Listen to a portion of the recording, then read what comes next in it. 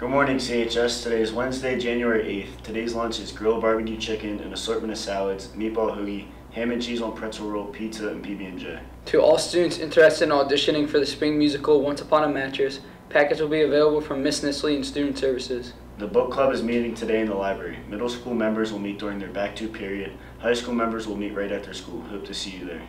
The senior class will be selling shirts for the class of 2020 theme. See Miss O'Rell or Mr. Clark for samples or an order form. Forms must be turned into Clark or O'Rell by Thursday, January 16th. Have you ever had matcha tea? The Japanese Culture Club will be meeting on Wednesday, January 15th after school from 2:45 to 3:30 to make and taste the traditional green tea. You can sign up outside of room MS15 if interested. See Miss Halkett for questions.